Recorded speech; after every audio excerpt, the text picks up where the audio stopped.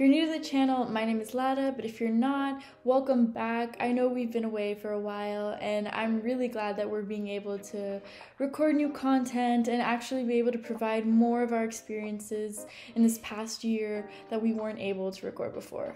I know it's been a while, but I'm really excited to go over my uh, supplemental essays, especially since the last time I read them was a year ago, and because after my first year at college, I really feel like I learned from other people who I met there and how they wrote some of their essays, and also like what worked for other people in general. And so I'm really glad I'm be able to revisit all of this and provide a clear view of how I have learned a good way to write supplemental essays. Now, obviously, I'm only going to be showing you supplemental essays of the universities I got into, and the experiences I've learned are only from the university I am currently attending.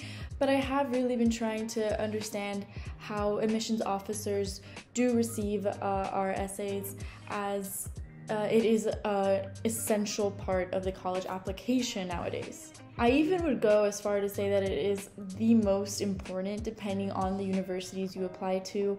I think for the ones I applied to, it was balanced between my essays for those that were more um, academic based and those for who were more artistic were kind of essays, but generally the portfolios. I don't want to waste any more time, uh, so I'm just going to dive right in. The first school that I'm going to be talking about is a school that I attend, so Barnard College of Columbia University.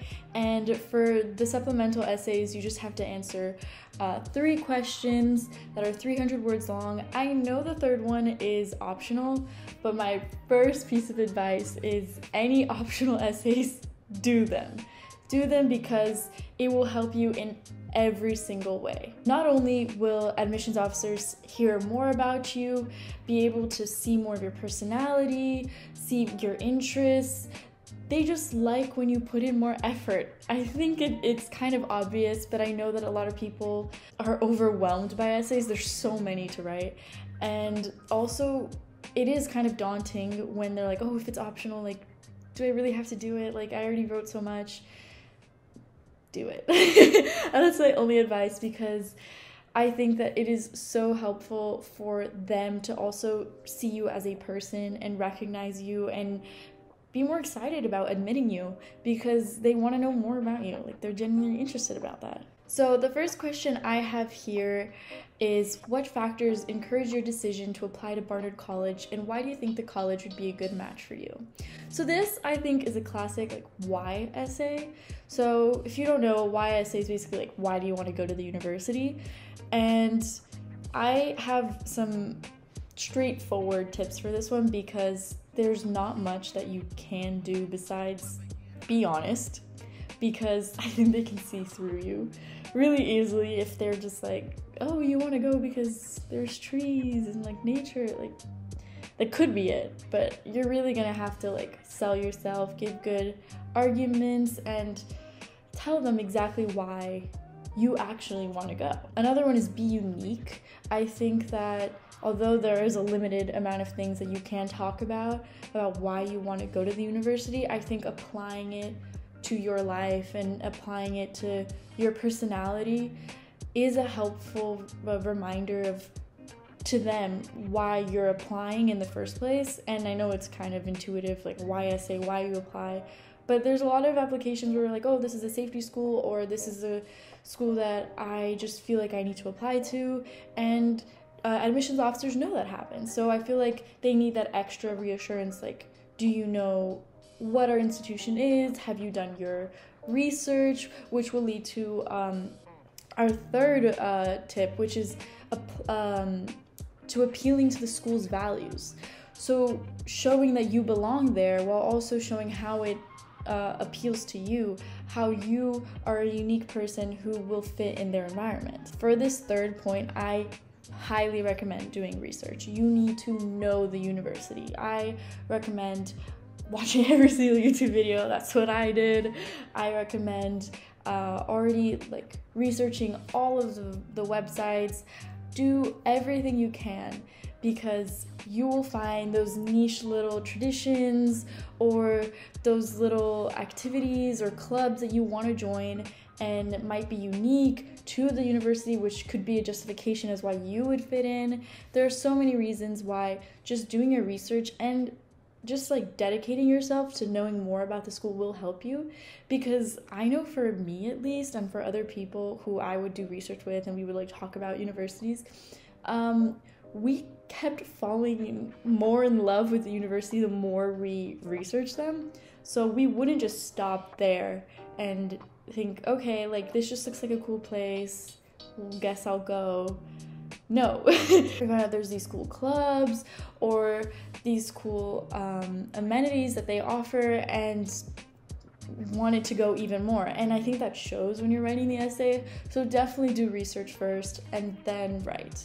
The second uh, Barnard College question is At Barnard, academic inquiry starts with bold questions.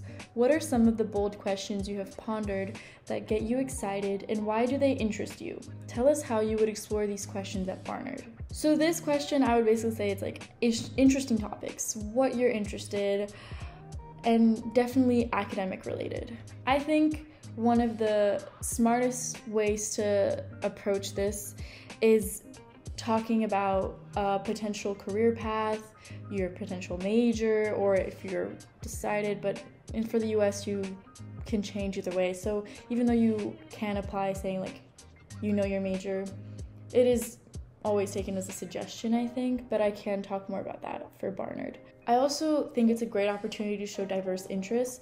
So, although you can be very interested in chemistry or biology and want to major in those subjects, you can also start talking about art or philosophy and these other topics that may not be linked to your future path but still interest you and you might even study a bit, maybe minor, and they just show more about you and your interests without explicitly saying I'm going to be that major or that is what I'm going to do. It just shows more about you. My second piece of advice is take the question literally when they say bold questions. Be bold. I think the biggest fear with these supplemental essays is trying to figure out what admissions officers want to read, what they want to like hear about. And I know that this essay might be a little daunting because it's like I can talk about anything and do they want to hear about anything? And most likely, like I think that any topic, especially something that you're passionate about, is very appealing to read. I love reading essays that I can see that someone's really interested in a topic, even if I have no idea what it is. I love listening to people who talk about their majors, and I could never understand. And I feel like you can really see that, although it's hard to see it for yourself. I think the most important part is not getting caught up on what they want and just express yourself. Just say what you want to do and just keep to the topics that you find extremely interesting and relevant to you. So, the third and optional essay for Barnard is pick one woman, a historical figure, fictitious character, or modern individual to converse with for an hour and explain your choice. Why does this person intrigue you? What would you talk about? What questions would you ask them? So, I think an interesting approach, which is the one that I took, was um, thinking about someone who could potentially relate to you, whether through diversity, background, topic, anything with how you can relate to that person and how you would want to learn from that person. What would you what do you think that they could teach you that would benefit you. Another tip is be creative with this one. I think because they make it optional, people do leave it last, or I know I did, uh, or do leave it a, a, a little aside compared to the other ones. But I feel like this one is is a nice one to just be creative with how you want to express this interview, whether you want to do it like an interview style or you want to write it in a different way. I feel like this one is um, like the best essay to get creative. I also think that this essay is a great one if you want to relate to your uh, intended major or potential career path because you can talk about someone which inspires you for that future that you are planning to have, or just in general, they are related to that topic and you can talk to them about it. Like, I think it's uh, an easy way to show another to- another topic that you're interested and it relates to you in some way.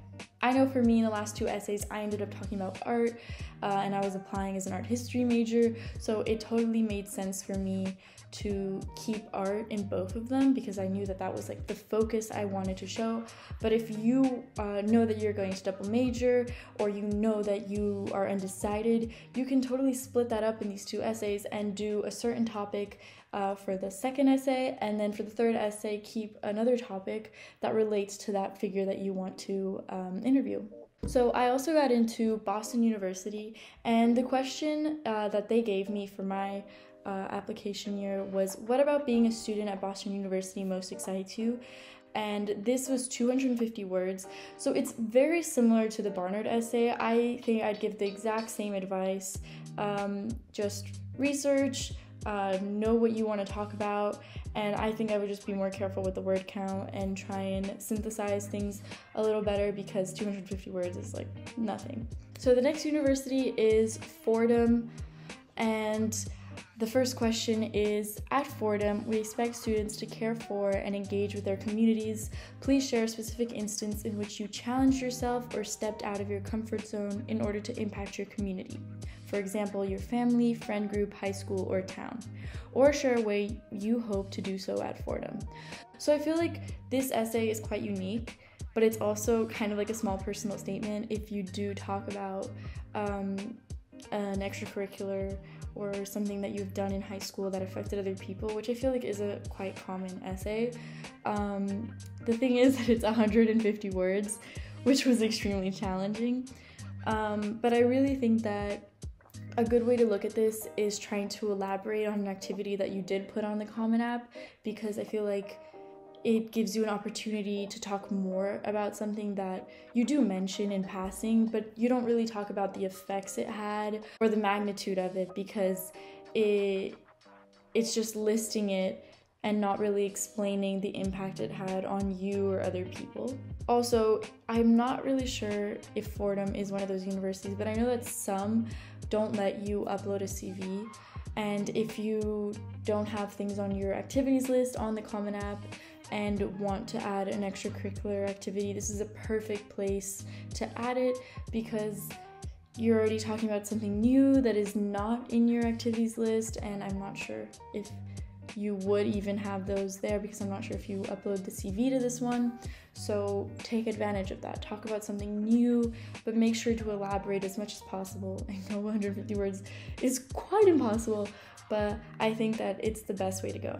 I will say that I would prioritize putting the activity that resonates most with you, but also that you think is the most impressive to people because although something that was smaller may um, seem more in tune with what you're majoring, I think something more impressive will catch the eye of admissions officers officers so whether it's something that you were able to raise money for or something that helped more people than another activity, I think you should prioritize that because I feel like there's value in numbers and values in statistics that you give. I think it is uh, a better measure of how much you impacted other people as well, not only how important it was to you. So, the final school that I'm talking about is Georgetown University, and the first question is Please indicate any special talents or skills you possess. You should write in either paragraph or bulleted list format. So I wrote this in paragraph format. I think it's just more personal that way. I feel like a bullet point list, although I, I think I tried in the beginning because I was like, oh, this is gonna be easy. I think that it's nicer to read a paragraph where you're talking about it as well. I know that this might range for like admissions officers probably or it doesn't matter to them because they gave you the option but i know personally i liked writing it out because it did help me like add thought to those skills and talents and what i wanted to show off to them and not only say i can do this Also, it is 250 words, which for a list I feel like is a lot. So I think I wasn't trying to like fill up space, but I also think that it was more natural to write a paragraph for 250 words. You can try writing a bullet point list first, and then if you're like close to the word count, then keep it that way. But if you're missing a lot, then you can write it out and just make it par- paragraph format. Second tip I'll give you is to show off. Just show off. Like no no hesitation. This one they're just like tell me everything you can do. And like go for it. This can be like knowledge wise, so like academic, or it can be like skills, like you can draw, paint, you can write really fast. I don't know, you're ambidextrous. I don't even know if that's like a skill I would put, but just like go for it. Again, this is an amazing essay to just link back to your intended major or potential career path. Amazing, because you can say, I have these skills which I think would be helpful as an economics major. I think it would be helpful for a career in this like a like in to go to medical school or law school or I think that this would help me go there. And I know that's kind of daunting saying like, "Oh, I can do this. That means I'm ready for that." Because obviously you're still going through college and you're still you're, you still need that middle part to get to the future. But I think it does show um, your interest and how you're thinking about it. And although I wouldn't tell you to just be like, oh yeah, I can just start working now because I don't I don't think that really makes sense. Like why are you applying to college? But I feel like it is a good way to show that you're already thinking ahead and you're already preparing and that you're dedicated. Second question is briefly discuss the significance to you of the school or summer activity in which you have been most involved. This one is half a page, which I think is plenty of space. Um, and I think it's really similar to the Fordham one, where you just talk about um, an activity where you have been most involved in, but also like I feel like you should talk about an activity that you think resonates more with you and also other people? Like what are other people interested? If you tell them oh i did this that summer or i did that the other summer what are people more inclined on hearing about? Because i think talking to others and seeing other people's opinions it really helps getting an overall demographic of oh do people find this interesting? or oh um, is this something that people like to hear me talking about in a general aspect. I think like when they're asking about something um, random it is good. But when they ask what interests you specifically i think totally just go for your interest. Totally just talk about whatever little teeny tiny topic makes you happy and just go ahead write about it. Okay, this third essay from Georgetown um, is, I think, one of the hardest essays I wrote. Um, and it goes as What does it mean to you to be educated? How might Georgetown College help you achieve this aim? Now, this is like a complicated why essay because not only are you saying like why you want to go to Georgetown, why you want to get an education, it's like what does it mean to you to get an education. So I feel like there's an added layer over the Barnard one and the Boston University one because it's asking more of why do you want to go to college at all. One of the most important parts of this essay, I think, is that which is appealing to why you want an education.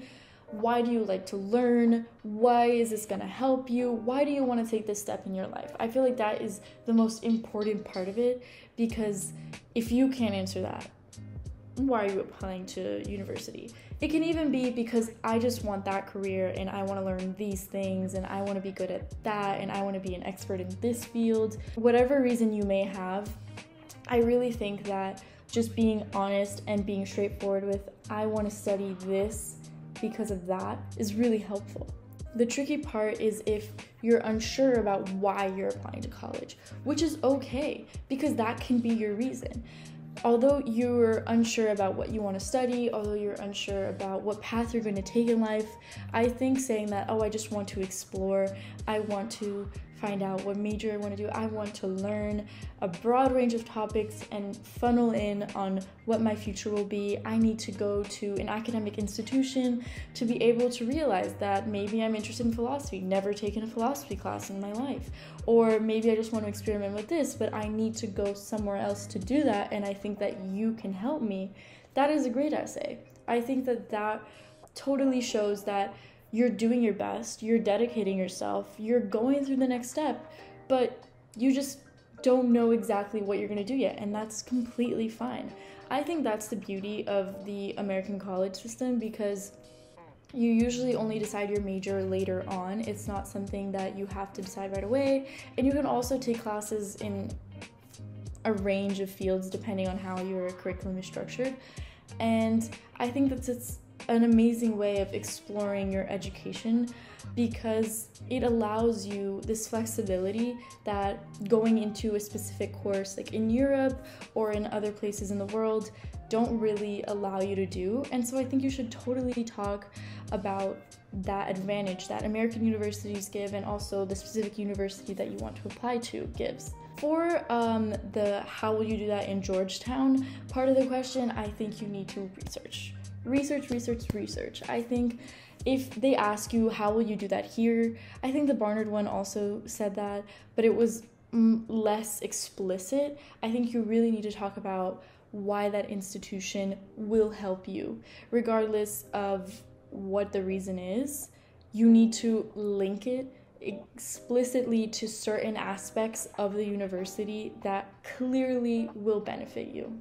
I think an important reminder is that you should be doing this research inside and out of classrooms. So, although classes can be very helpful in your education, so can clubs. So can things outside of those required parts, which are also extremely helpful and show that you're prepared to attend that institution. Also, I did mention this a bit, but I think it's important to talk about how this will help you beyond your education. So, although you know that you want to get an education and you explain why and you explain why you want to do it at Georgetown or whatever university, it's really important to understand because you're getting this education, how will it help you later? How will it help you in your life? Where do you want to go after, whether that's a clear or fuzzy picture. So, those were the specific uh, supplemental essays that I answered. I know I just generally went over the questions, but you can read my actual responses in the description. I have linked the document, and so you can um, watch this video and then go read um, my essays. And they are very tailored to me, so I do recommend like just listening to what I have to say and understanding like the structure or kind of how I approach these essays, but really go your own way. Like try to do this in your own path with your own interests and I think that those will produce you like the best essays you can. I will also be linking uh, a TED talk that I watched recently, which is specifically about trauma essays, which I know apply to college essays in general, but I thought it was very interesting, and I think it does show how uh, not only like how the specific type of essay is uh, viewed uh, for universities, but also like how the admissions process works because the speaker does talk about how like universities view certain essays. And the dilemmas that this causes because there is sort of something that kind of works more but there also is like the ethical um, and like moral issues behind it. And i thought it was very interesting and i did go down a college essay rabbit hole after that. So i'm only going to be linking that one. Um, but yeah i totally recommend you check it out on that topic, I do want to give one last reminder to everyone is that these essays are extremely tricky and I know it is very hard um, to write them. I am so glad I'm done with them, but it was a very tricky experience. And I do want to remind you that there is no right way of writing them. I know I mentioned that, oh, you can be more creative in this one, this one, that, but I think that the best way to approach these is the way that you feel is most right, the way you like reading them, the way that sounds most right to you, because then I think that you express yourself better to whoever's reading them. I think that there are very few ways of doing a right essay, but there are a few ways of doing a wrong essay, which could be like not personalizing it, making it very generic, and also making it very redundant.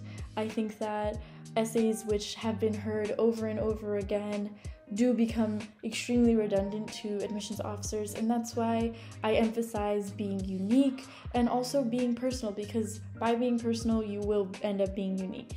I am thinking of doing another video about why I chose Barnard and the research I did behind the universities and basically my whole process of figuring out why I wanted to apply to places, also how I was considering financial aid into this.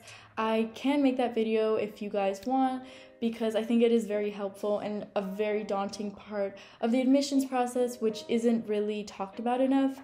So, yeah, uh, comment in, down below if you want to hear more about that. Anyway, I had a lot of fun talking about these essays. I did not miss them, but I really hope they help you. And um, I'll see you soon in another video. Bye!